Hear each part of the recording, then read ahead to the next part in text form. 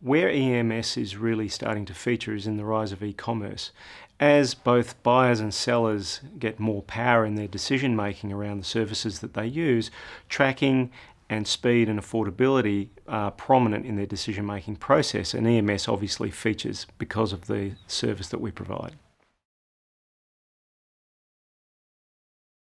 I think EMS has a number of challenges. Um, the most primary challenge that we face as postal operators is the second leg with the airlines. It has become, if you like, our black hole. Postal operators in leg one and leg three have a great accountability to the service and to the product. And the airlines, it's how we bring them into that end to end service to create a quality network end to end.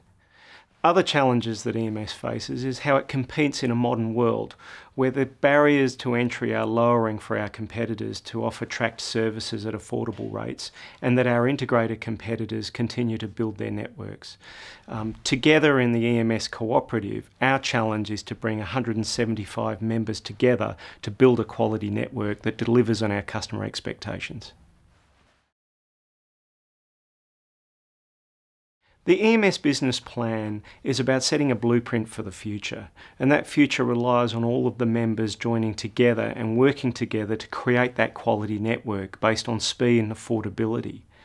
But primary to the entire business plan is our ability to build a reliable network based on quality providers both at origin and at destination for our customers.